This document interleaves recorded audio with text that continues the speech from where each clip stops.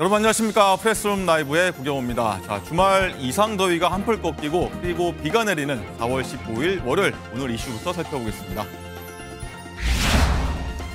자 이란의 공습에 이스라엘의 네타냐후 총리가 미국의 바이든 대통령의 전화 통화 이후 보복 공격을 철회한 것으로 전해졌습니다.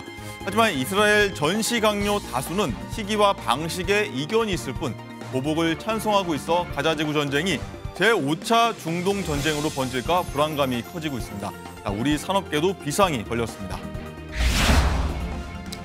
윤석열 대통령이 이번 주 발표 예정인 새 비서실장에 원희룡 전 국토부 장관을 비롯해 호남 출신인 이정현 전 새누리당 대표 등을 두고 고심 중인 것으로 알려졌습니다.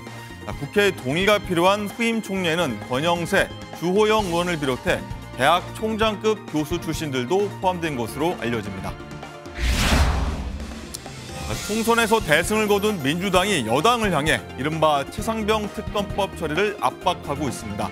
자, 참패한 국민의힘 4선 이상 중진 의원들은 현재 당 수습 방안을 논의하고 있습니다. 자, 1분 뒤에 저희는 돌아오도록 하겠습니다.